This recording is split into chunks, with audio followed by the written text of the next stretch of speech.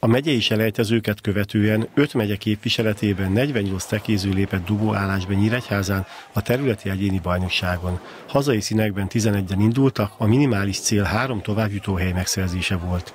Ezt teljesítették is a nyíregyháziak, Szlovenszki Tibor 615 fával az egész mezőny legjobbjának bizonyult, Hakker Dezső 569 fával a hatodik helyen végzett, Kastúra Zsolt pedig 553 fával, amíg továbbjutás jelentő 11. helyet szerezte meg. Már látva a névsort tudtuk, hogy magas lesz a mérce.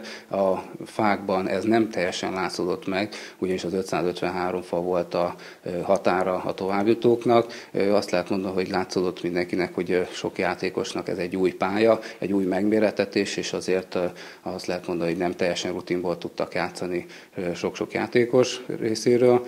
Sok meglepetés volt úgy a továbbjutók, mint a kiesők nevét illetően, de mindenképpen azt lehet mondani, hogy több év tapasztalatára visszamenőleg az egyik legizgalmasabb és a legigazságosabb továbbjutó létszámot produkált ez a híregyházi verseny. A továbbjutók május elején a Bátonyterenyei vidékbajnokságon próbálják meg kiharcolni az országos döntőbe jutást. A hétvégén újabb fordulót rendeznek a Szuperligában, a tabellán 10. NTK a 11. Pétet fogadja. Nagyon nehéz mérkőzés lesz majd, mert azért a PT-ek most mindent bele fognak vetni annak érdekében, hogy esetleg közelebb lopózzanak a bennmaradó helyekhez, de úgy gondolom, hogy a mostani egyéni versenyen produkált eredményeinket figyelembe véve mindenképpen mi vagyunk az esélyesei ennek a találkozónak, de mindenképpen oda kell majd tenni magunkat, és egy 3400-3420 fa fölé kell mindenképpen a csapatfát tornáznunk ahhoz, hogy biztosan hazai győzelem születhessen a szombati napon.